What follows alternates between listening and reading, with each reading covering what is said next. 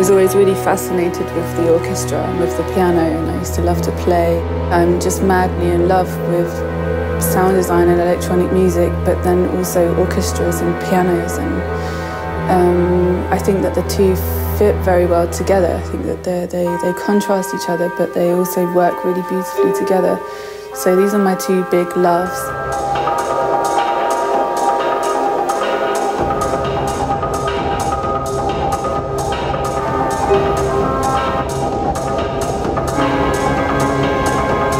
My signature sound is inspired by a producer called Timbaland. His records just used to stick out above everybody else's. I feel like they wanted to have their own sound and own their own space and compete with their own frequencies.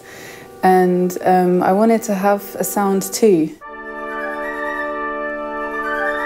I don't really write about anything funny or silly or light-hearted. Everything is quite deep and real and complex. A lot of people describe it as dark, where I actually think it's just very truthful. that a lot of the music that we hear is like hyper real and uh, just poppy and very like on the surface, you know.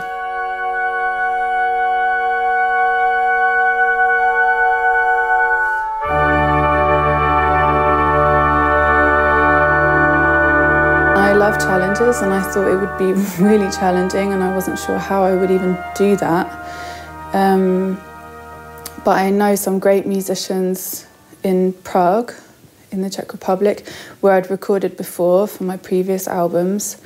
And uh, I spoke to my friend Radek there and told him about my idea and he invited me to Prague to look at different studios. How is it going to be to sit in a big studio? How big do I want the piece to be? Do I want to have a small warm space or a big hall, you know? So I kind of went and did a lot of research.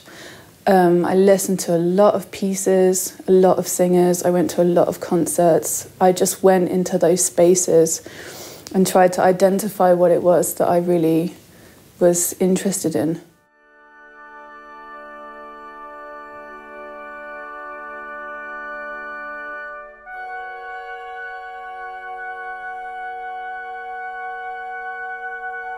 Prague influenced me a lot.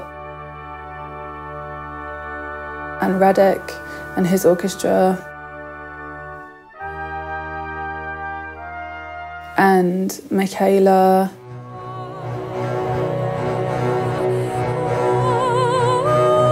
And then also my music teacher from school. I called him up and asked him if he could help me with the notation, with making the score. I actually never would have started singing if he hadn't forced me to be in the choir. He was the one and only person that actually bothered to listen to my music and saw some kind of um, promise of something good in my piano pieces at school. And he really encouraged me and he uh, he's somebody that's watched me grow and develop the last like 10 years. And I just felt like he knows me and he knows classical musicians and he would be the great connecting person between my like ideas my abstract concepts and then these classical players that they really need things written down properly. So this is the very first score that we have which was made by paul with his notes still inside. He made this beautiful book And yeah, these are all the original notes that we had about the dynamics of the piece, and um, this is the score he used for conducting the session. May stop, we may cut you off a little bit before the end of your notes. Can you translate that for me? It may, I might just do that. So.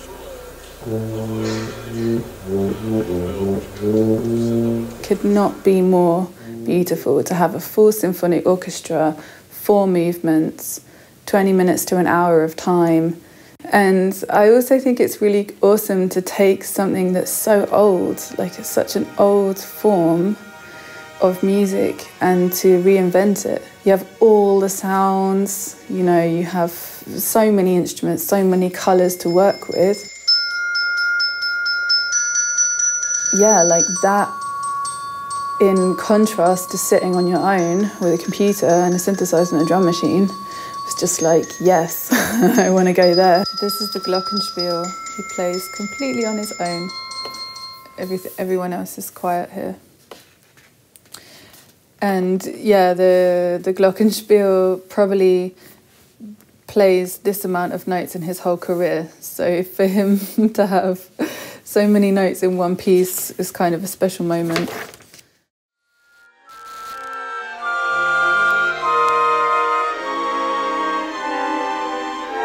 Yeah, I just searched for stories and I, I, I, reflected a lot about my life and about miracles. My laptop often just sat in my bed and I used Logic and um, East West Symphonic Library.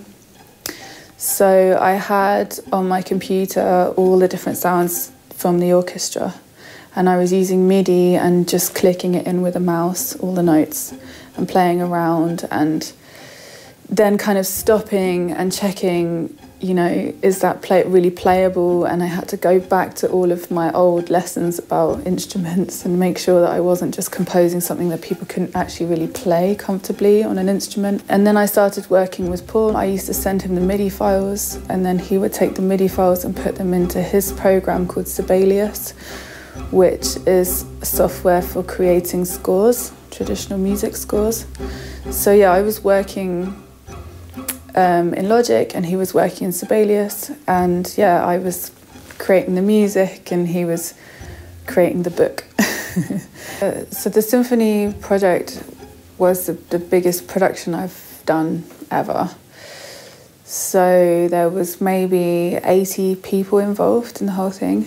Yeah, you have the orchestral costs, the studio costs, travel, catering, pre production, post production, manufacturing, distribution, PR, artwork, photos, filming, editing.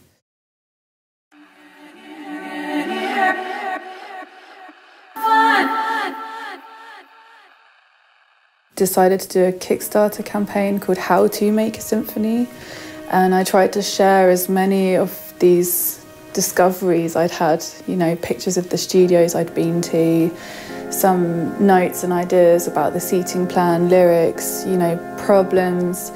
I sometimes wrote to, wrote my doubts or my hopes and dreams, you know, just just everything. It was a real live process happening while I was while I was doing the campaign. So it's just a massive thing to do. That's really why I wanted to do this Kickstarter because I feel like it will be this really interesting process that my fans can join me with. And yeah, and then it's like the one of the most beautiful things that's ever happened in my life, but everyone supported me. And um, we were over funded. So that was really incredible, and I couldn't believe it. This was something completely different. I still can't really understand what it that it like happened to me and that so many people um, are interested to support artists you know outside of the traditional music business and shops and streaming and all the stuff that we know.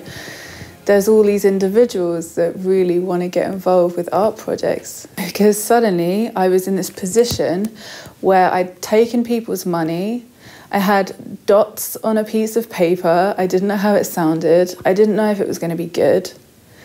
And I had to be the producer of a massive project, which I'd never done before. Most of the people were older than me and more experienced, for sure. And suddenly I was sat in the chair and I had to drive the whole thing and make it work and fix problems and improvise and. Um, yeah, I'm pretty sure I had a mini heart attack.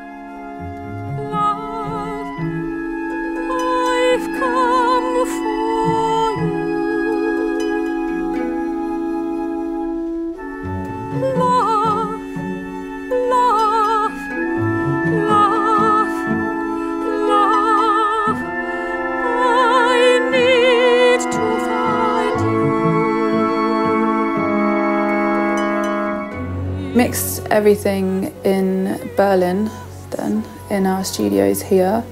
using Genelec 8050s and Adam A7X speakers. There was sounds of chairs moving or like people's clothes sometimes, so we tried to clean up some of the unwanted sounds that were distracting, but we left everything as real as it was on the day. Um, we didn't really compress anything that much. It was all kept very naturally sounding.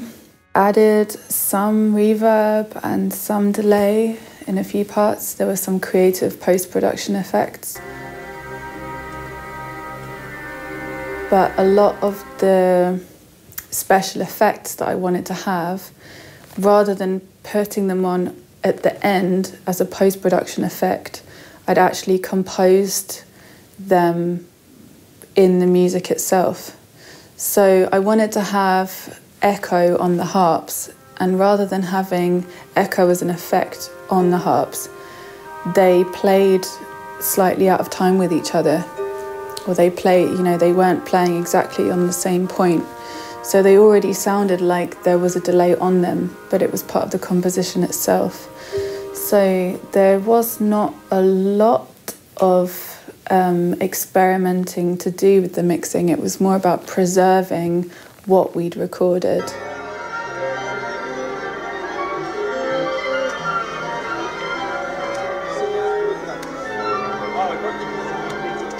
And um, balancing things a little bit. And then I worked very closely, as I always do, with my mastering engineer, Richie. Yeah, I gave him some ridiculous reference tracks, I think Rihanna and Beyonce, and I told him we need to make it sound as present as these records. Because it's nothing worse with classical music, like when you listen in a car and it's like suddenly loud and then it's gone, and then it's suddenly loud and then you can't hear it anymore. And with all classical music, I'm constantly turning it up and down, up and down, up and down. And I didn't want to have that with this record. I wanted to put it on.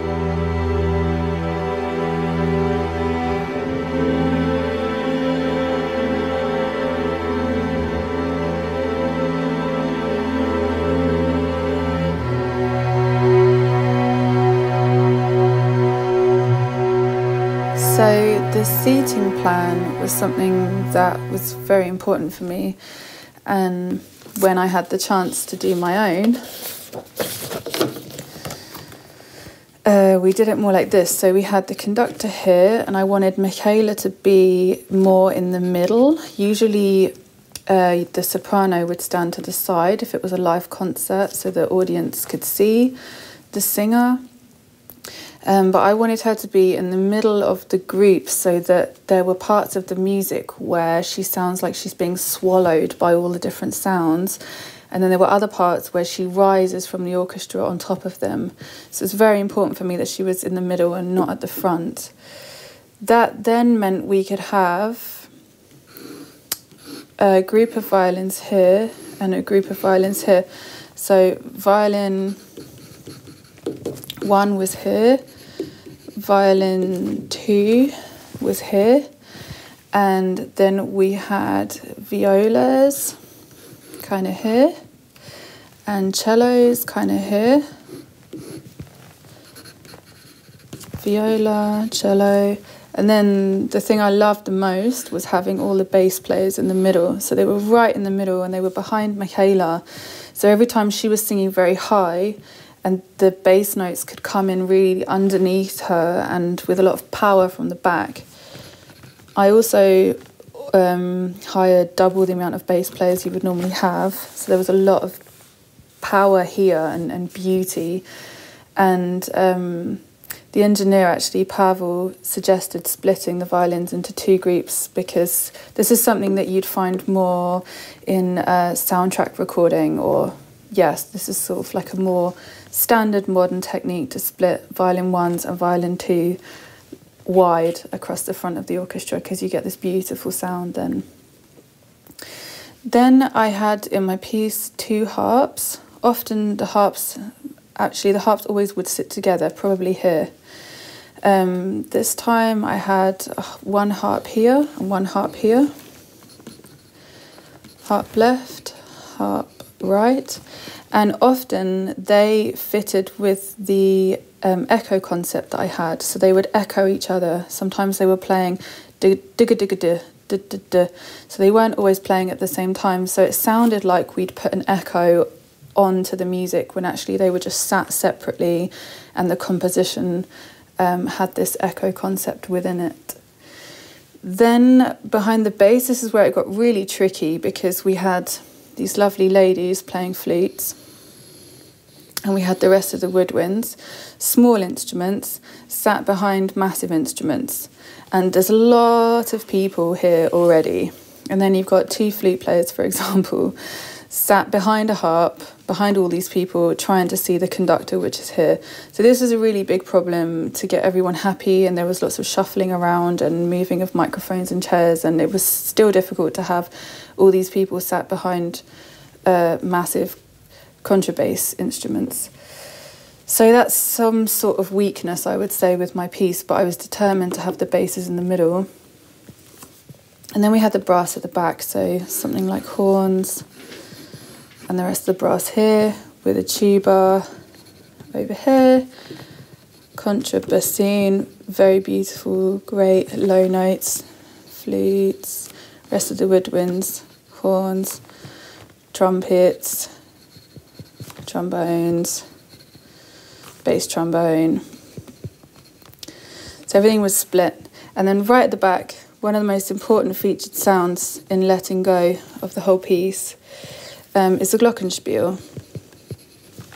Now, the glockenspiel comes in at the beginning of movement two when Michaela's losing her mind and letting go of this miracle that's previously happened to her.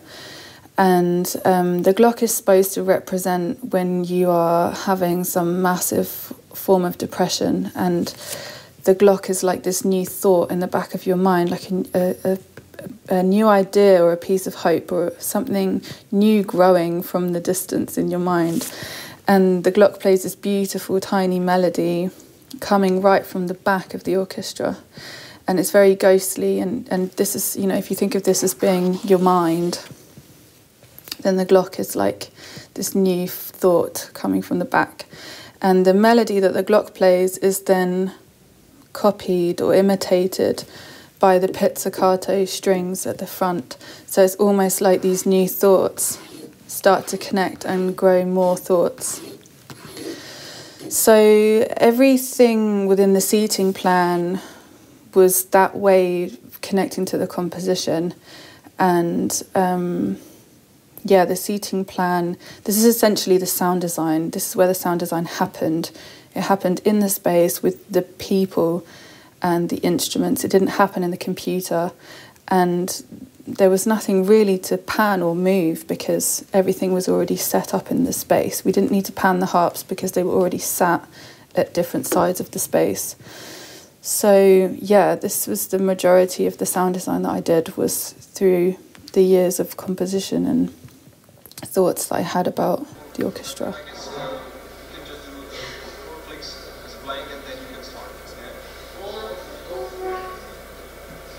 So Czech Radio was recently refurbished, um, and yeah, like I love that place because it has this old hall and it's been there for a long time, but they've refurbished everything, so it's like a great place to now go and work. Um, we had an absolutely massive mixing desk, a Studer Vista 9 with 52 faders and 64 microphone inputs. We recorded using Apple Mac computer with Pro Tools 10 and we had uh, my favourite speakers in the whole world made by Genelec 1038B and Genelec 771A and uh, it's like a huge i mean it's potentially a surround system if you want to use it in that way but the speakers are like as big as people. Um, and then the there were a lot of neumann microphones and Schoeps microphones.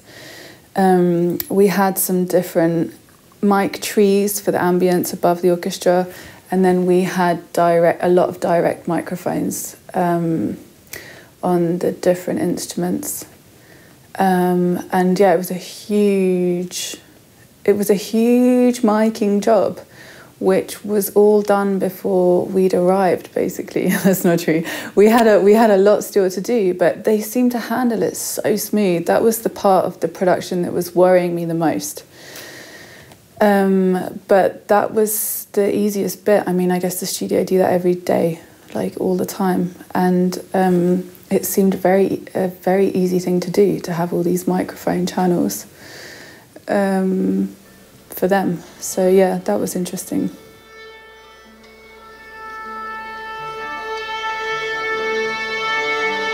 So I had the bass players in the middle of the orchestra. Normally they sit on the right side, and then all the people behind them couldn't see the conductor so well. And we didn't have a lot of time for this, and everybody had warned me before that you would need a click track and that's normal and that's how you do it. And I thought, nope, it's going to be fine, we'll do it without. But it didn't work. So within about 20 minutes, we had to give everyone headphones and set up a click track. And that was very nerve wracking, but they did it very fast. And then also with things like editing, you know, if you have one half of a movement that you love and the end half of a different take, you know, and you want to put them together, how are you going to do that without any kind of click track, anything to cut to? It just, it, it wasn't possible. We didn't have the budget to have two days of rehearsing, you know. We went in cold with the music, and the players are so professional and talented that they just arrived and played.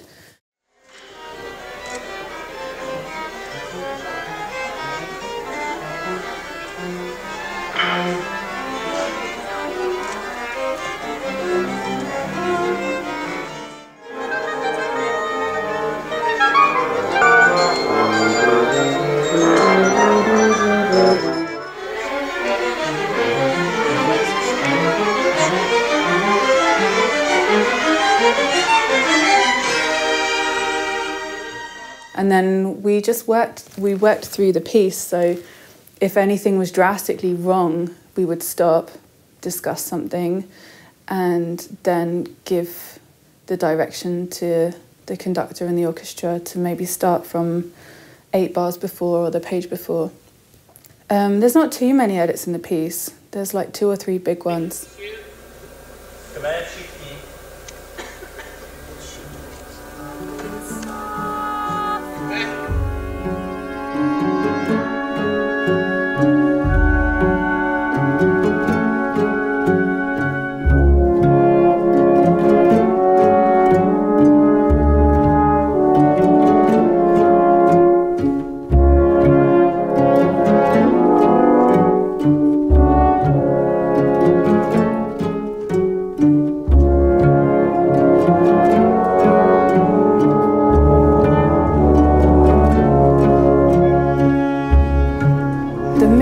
process for me was actually the hardest part and I didn't enjoy it at all and it was really difficult because everything on the day had been so incredible. It was so loud and it was so real and everything was vibrating and all the people were there and then you know within one weekend four years of my work and my life were suddenly over and we were driving back to Berlin in the car and everything was on a hard drive and it just seemed so flat and lifeless. And then I wasn't sure how to put it back together again to try and give people this experience that I'd had with the musicians on a CD. It was just like, oh no, this is, I'm only going to be able to give people 50% of what was really there.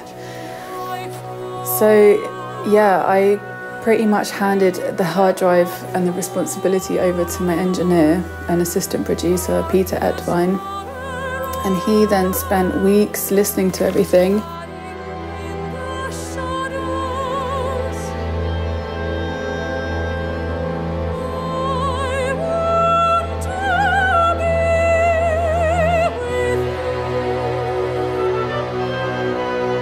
It sounded very like a, like a, like a film I didn't want to have a soundtrack sounding project. I wanted it to sound real.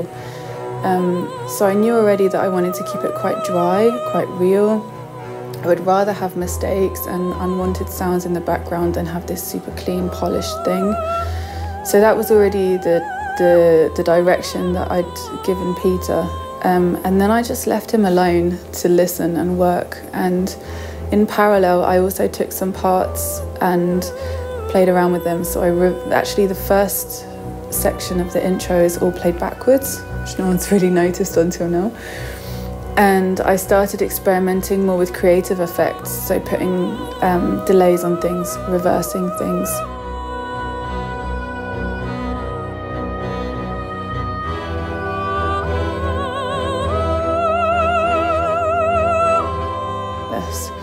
There's this really beautiful crescendo and huge build up towards this line where she's almost sort of screaming, I'm free and meaningless, meaningless. And it's so, yeah, loud and desperate. That's the, the notes we had for the conducting here.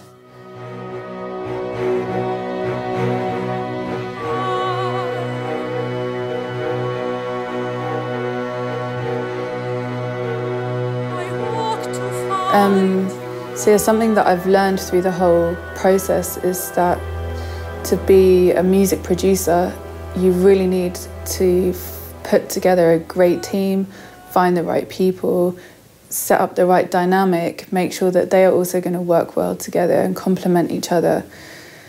Um, you need to have an idea of how to make budgets and how to be responsible with money, invoicing, tax, paying people on time. You also need to be very professional. In that moment where you maybe want to break down and be an emotional artist, you can't. You need to really be on point and be professional and never lose focus on your goal. And sometimes that means biting your tongue and being diplomatic when it can you want to do the opposite you know you want to just shout at someone to do their job. But that's going to make a really terrible atmosphere amongst the group. So you have to constantly think the goal is the music the goal is to have some harmony. You're the person that's you know the first one there the last one to leave the last one to eat you know and um, it's it's very exhausting